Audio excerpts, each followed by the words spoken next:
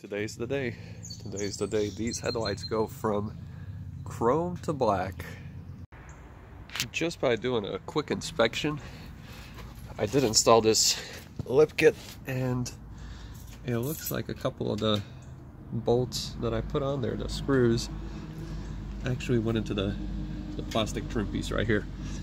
So it's gonna be a little bit more fun than uh, than normal. So we'll see how long it takes me to go ahead and remove the bumper first. From what it looks like, there's a few at the bottom of the clips that I had to remove. There's one right there.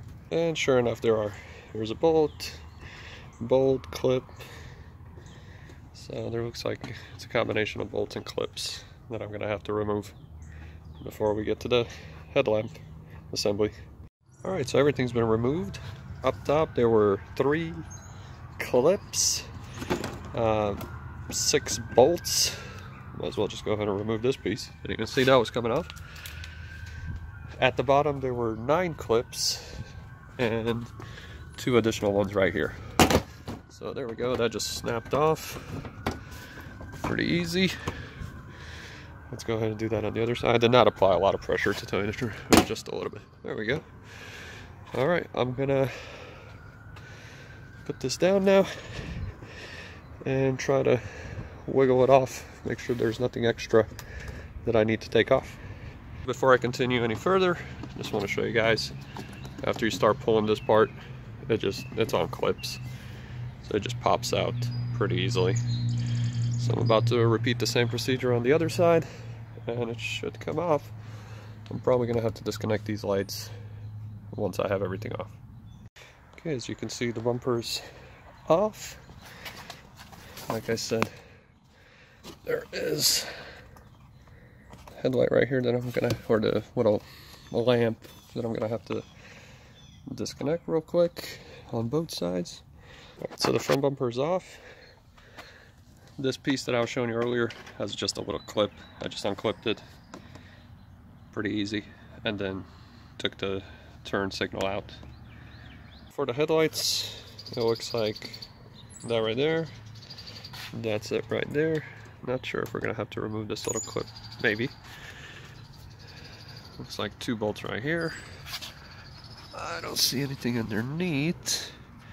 But I do see that one right there and this one right here. And I think that'll pop out as soon as we remove that.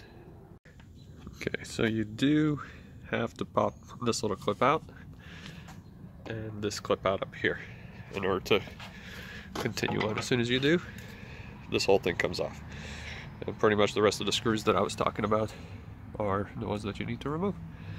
Alright, just looking at it right now, looks like that piece just slid in there and there's nothing else holding it. So I should be able to just remove it after I unplug the, the bulbs. So this one's coming out to be quite a pain. But I think I'm going to try to do this with a screwdriver to remove that one. So just like I expected, you just push on this with a screwdriver flathead and it'll start sliding out and it just pops out. And that's it, there's no other wiring. All the rest of the wiring come out with the headlamp assembly right here. So now it's time to do the same thing on the other side. So the driver's side, little bottom plastic piece right here, has this little, I'm not sure, maybe a sensor or something, uh, that's plugged in. So you can just remove that clip real easy. It just pops out. And there we go. I think this is the easy part. easy part is over. Everything's out. There we go, the headlights are out. And time to start taking apart the headlights. So I'm gonna follow the same procedure as everybody else does. I'm gonna bake them, but uh, I'll show you guys the entire process. Okay, so to remove everything, looks like we're gonna have to remove this bulb first, the wiring around it, coming all the way to these two. So once we have all of this stuff removed. Uh, then we can remove the bulbs and looks like there's a screw right here to remove this portion. I think that should be it as far as what we need to remove to get all the bulbs and everything out. Looks like all these little small screws that go around there, yep, there, pretty much everywhere around the bulb. So we'll get all that stuff disconnected and then at that point uh, we'll go ahead and, uh, and bake them. As you can see, harness is off, pretty simple. I went ahead and removed all the screws. I'm pretty sure I have to remove that one too. Not sure if I have to touch this or not. We'll see. But uh, same time, I think I'm gonna have to pop these rubber pieces off.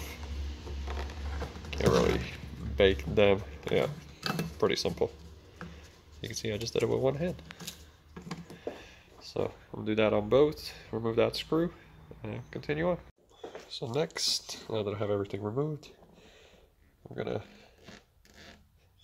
carefully take these clips, just pop them back a little bit. We'll see how easy it goes. Maybe I don't even have to bake it, but I'm pretty sure I do. If I do, it's 210. Bake it for 15 minutes, and that's it. Um, here we go, the headlight is in. So now it's time to do the scariest part of this whole thing. Alright, so what are we gonna do? Bake.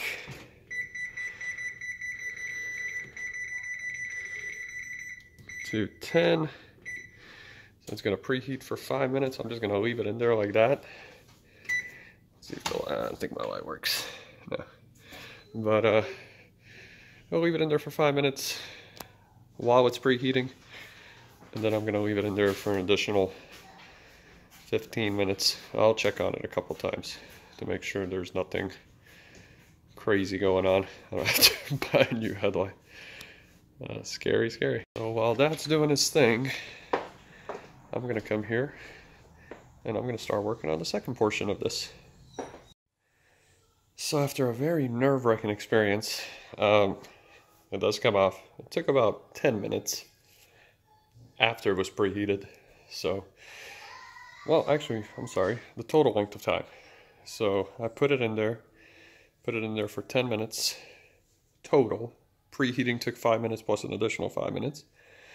And uh, started pulling it apart and it came off. It is hot, so you're, gonna, you're definitely gonna need some gloves. But uh, yeah, the tape is extremely stretchy. I started off with this portion right here. And once that started coming apart, I just kept going down. And finally we ended up with the piece closest to the marker right there. So that's it. Now it's time for the second one. What it looks like, I think I'm just gonna paint this entire piece on the inside. There were three screws, one right there, one right there, and one right there. So once those three were removed, just uh, grab this slowly. I don't think I can hold the camera and this at the same time, but it really does come off easily with two hands. there it is, came off real easy. You just needed that second hand to help wedge one piece out. But I think I'm going to paint everything, including the side marker. So everything should be nice and black. The other one is almost done. Can't wait see what happens there. that one is still baking, as you can see. I went ahead and removed all this extra glue. Comes off real easy, you just need to get one little piece and as you can see, I removed pretty much 100% of it. So now I'm just gonna add the new tape, the rubber that goes around it. After I paint it, of course, pop it back in, reassemble it, and reassemble it onto the car. Whew. Man, that takes some effort, but the other one's off. So now, again, I'm just going around and pulling this out.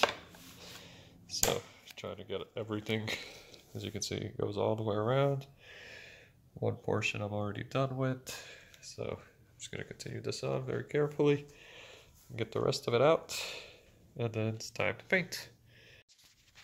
Okay, so I went ahead and removed this little reflector. Make sure that you don't snap these, but they're a pain to get out. So I used some needle nose pliers, squeezed them gently, I was able to remove them. So I'm not going to be painting this part, but the rest of this will be painted black. So now I just got to do this on the other side and hopefully I don't break anything. It's time to sand this. So I got some 400 wet sanded. Got some steel wool for those just pain in the ass parts. And just some black paint. Alright, now that I've scuffed everything enough, as you can see, I mean, it's, uh, it's actually still reflective on camera. There we go, you can zoom in. I went ahead and cleaned it with Prep-All after I finished everything. And now I'm to primer and paint. So those are the two next steps and then I'll let it dry a little bit and then reassemble. So I applied the primer to everything. There it is right there. And I actually did the first coat on this one as well. So now it's time to do the first coat on these little pieces and start with the second coat on this one and then I think I'm going to do either two or three coats we'll see. So all the pieces have been painted. I did three coats three relatively light coats. And as you can see everything came out pretty nice. So now I'm just going to let them dry and put them back together. And I really hope once I'm especially putting in the side markers into there and the little C um, reflector that this stuff doesn't scratch.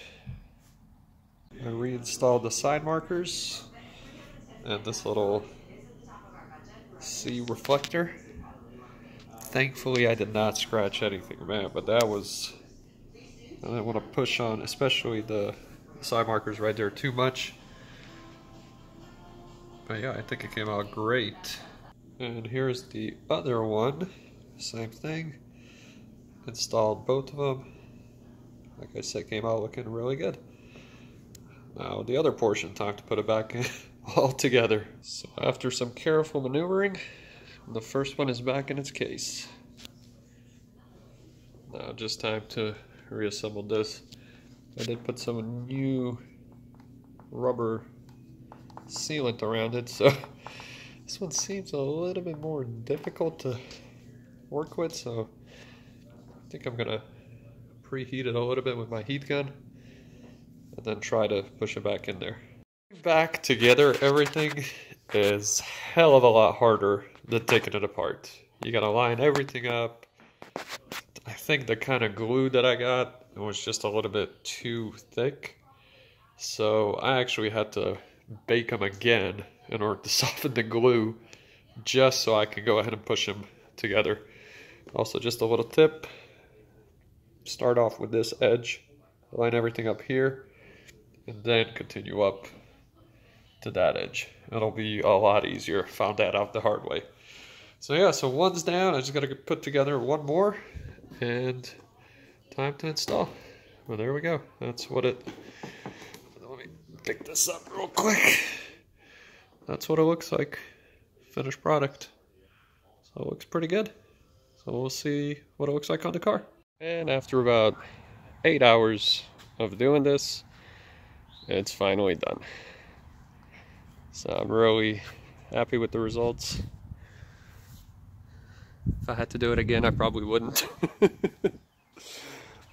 But that's why you do these things one time and be done with it.